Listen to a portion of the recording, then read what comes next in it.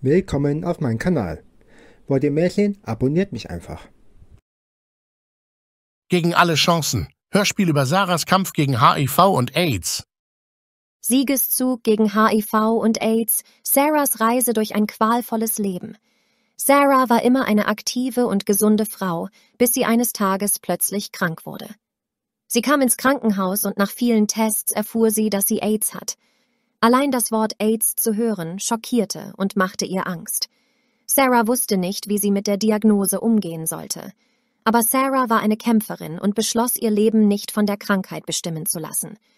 Sie begann, sich über die Krankheit zu informieren und fand heraus, dass es heute viele Behandlungsmöglichkeiten gibt, die das Leben von Menschen mit AIDS verlängern und verbessern können. Sarah arbeitete mit Ärzten und Spezialisten zusammen, um ihre Gesundheit zu verbessern und ihr Leben zu verlängern. Die Diagnose AIDS hatte jedoch auch schwerwiegende Folgen für Sarahs Leben. Sie verlor ihre Arbeit, weil ihr Arbeitgeber befürchtete, dass sie die Krankheit auf andere Mitarbeiter übertragen könnte.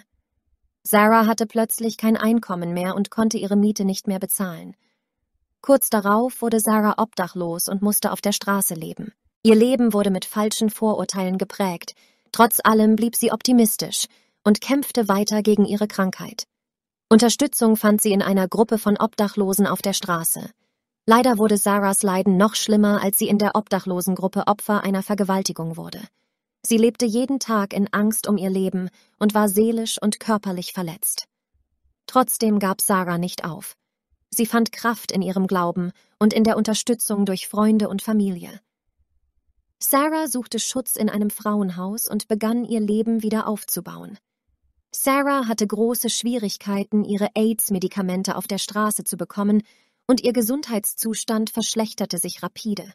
Sie wurde schwer krank ins Krankenhaus eingeliefert. Die Ärzte kämpften um ihr Leben und sie erholte sich langsam. Sarahs Erfahrungen waren schmerzhaft, aber sie machten sie auch stärker. Sie hatte viel durchgemacht, aber ihre Erfahrungen hatten sie auch gestärkt und gelehrt, sich niemals aufzugeben. Sie hatte auch das Glück, Zugang zu den richtigen Medikamenten zu haben, und ihre Gesundheit verbesserte sich. Sarah begann ein neues Leben. Sie bekam Sozialhilfe, eine Wohnung und Arbeit. Nach einem langen Weg fand sie einen Engel, der ihren Lebensunterhalt finanzierte, und sie begann ihren Traum von einem normalen Leben zu verfolgen. Sie zeigte, dass man trotz schwieriger Umstände an sich glauben und seine Träume verwirklichen kann. Sarah wurde gesund und führte ein normales Leben. Ende. Ich bin dein Vater. I lo lo lo lo love you. Ooh. I lo lo lo lo love you. Yes, I do.